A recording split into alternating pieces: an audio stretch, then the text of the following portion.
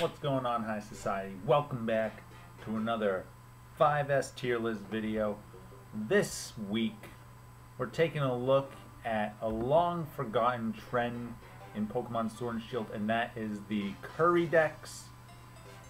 Um, I'm sure all of you were disappointed that even though we got amazing new legendary Pokemon, even though a lot of old favorites came back in both the Crown Tundra and the Isle of Armor DLCs, mythical Pokemon, legendary Pokemon, etc., etc., we did not get any new Curry. Game Freak, why you keep continuing to fail us? What is this, first National Dex Cut, now Curry Dex Cut? I don't understand. But anyway, we're going to be looking at all these curries, and I'm going to say if I think it, mmm, looks delicious, mm, I'd give it a try. Well, if I have to eat it, no thanks, and trash tier in the garbage. So we'll go through these. I'm going to be kind of flipping back and forth between uh, Serebii because some of these I want to know exactly what's in them. So we'll start off, we'll kind of go in order here. So we'll go with regular curry, which we see here. Um, I don't think there's anything wrong with regular curry. You know, it's not going to be like too spicy or anything. I mean, pretty solid. Like, just regular curry. I would eat it. I'd give it a try if somebody put it in front of me. Alright. Next up, we got the sausage curry. Now, this looks pretty good. I love me some sausage. The more meat, the better.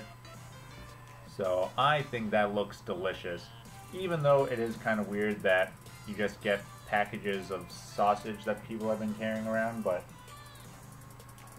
you know, maybe it's dried sausage, which would probably take away some of the flavor, but maybe it was very smoked. That'd be good. Alright. Next up, we got the Juicy Curry. Okay, so this is Bob's Food Tin, so we're looking at canned meat here. Alright, which one of these is the juicy curry? Is it this one? Is that the one? Yeah, that's the one. Okay, juicy curry. I say if I have to. Um, it looks fine. Like, I see they put some greens on there more than the regular curry, which makes me think that you gotta, like, cancel out some of the flavors of that canned meat. Um, maybe it's more the canned meat that's kind of turning me off there. Um, we'll get to another one soon with some canned meat, but I'd put the juicy curry down a little bit. Here we got the rich curry. Now this is the other one I was talking about because this we use Bach's food tin. So this is basically spam in a can. The rich curry right here. Um, I'm gonna say no thanks. Like look at that. That looks actually that's trash here. That looks gross. That just looks like sliced spam, very thinly sliced thrown on top of my what was once delicious curry. No thank you. Alright, next we got the bean medley curry. So this one's interesting. Tin of beans. Um, what do they look like? Look kind of like pinto beans, maybe? Or maybe like a white navy bean. Um, I would try it. I think this could be like, if you add some spice, it kind of be like chili over rice, which is pretty good. So I give it a try. I like chili over spaghetti. Um, if you've ever tried that. Pretty delicious. So I give it a try. Alright, next we got toast curry. This looks really good. I'm just going to say it. So toast curry, I'm going to say it looks delicious. Like, I just like the idea of having this nice thick, like French toast bread style, and just like using it to mop up and dip my curry. Like, that looks great. That's up there for sure. Alright, next we got pasta curry. Ooh, so you put pasta on top of the curry. That's a lot of grain. Um, that's like a lot of starch right there. Um, seems very heavy to me. Very heavy. Um, I'm gonna put in the if I have to. Like it's between that and give it a try because I would like to try it, but I don't think I'd be able to eat it all. Like that looks very heavy, like very dense. Just a very dense curry right there. Alright, next we got the mushroom medley curry. So, I'm not the biggest fan of mushrooms. Um, I'm going to say no thanks. Um, just because I'm not a big mushroom guy. If you like mushrooms, you might put it up higher. But I'm not the biggest mushroom guy. Smoked tail curry. Okay. Freaking slowpoke tail curry. Oh my god, that looks so freaking gross. Oh my god. Ah, oh, god, it looks so nasty, dude. Oh my god, this is... Uh, but it's a delicacy, right? Oh my god, just look at it makes me want to throw up. I'm putting in the trash here. I almost want to put in no thanks just to be like polite. But nah, like, oh my god. Those poor slowpoke. Alright, leek curry. Um, those leeks look really big, and I don't want no Sirfetch'd coming to beat me up, so I'm just going to say no thanks. Um, roasted leeks I've never had before. Um, they just seem very bitter. They seem like they would be very bitter, so I'm, I'm going to say no thanks to the uh, leek curry there. Apple curry, oh my god, so this is great. I've actually had this before. Um, apple curry is great the sweet with the spice. Uh, just a flavor concoction. Like that, that's all I want with my curry. Just a nice blend of flavor. Bone curry. Yo, this looks interesting, right? What is this? Brittle bone. So they literally just take bones, morph the rice around it, and then throw some curry on top. It's gotta have like a nice meaty flavor though, right from that bone. Um, bone curry. I'm gonna put in the if I have to. Like, just the fact that the ingredient is just bones. Like, if it was like a bone in ham or like a chicken leg, turkey leg maybe, like, you could. But literally, it's just brittle bone. Look, it, it just says brittle bone. Next, plenty of potato curry. This looks really good. This looks very good. Um, also like kind of like the same part as like the bread. I think having the potato would kind of like saturate the spice. So I think I'm not a super spicy guy, but I could see myself like going a little higher in the spice, knowing that the starch from the potato will kind of take it away. And if those potatoes are cooked nice, mm, that's gonna be some good curry. Next we got the herb medley curry Pungent root. Okay, we all know what the pungent root does. That's nasty. That's nasty. Oh my god, that's nasty. That's trashy. Look at that. It looks like somebody like vomited all over it. Its literal key ingredient is called pungent root. Pungent. That's not a word I want to see. They try like put like a pine needle on there. What the hell is that? Salad curry. No thanks. I don't know why I would want that. Salad is for the side. It's not for on my curry. As you can see, I like me some meat. I like me some starch, some heaviness. Not too heavy. I think the double pasta is still too heavy, but no, salad, no thanks. Fried food curry. Okay. This is pretty good.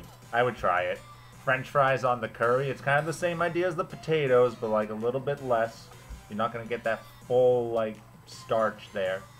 But uh, I think it, it would be good. I mean, it's fried food, right? So it's, it's going to taste good. Okay, boiled egg curry. Look at this huge, massive egg. Look at this thing. Oh my god, boiled egg curry. Where the hell do we go with here?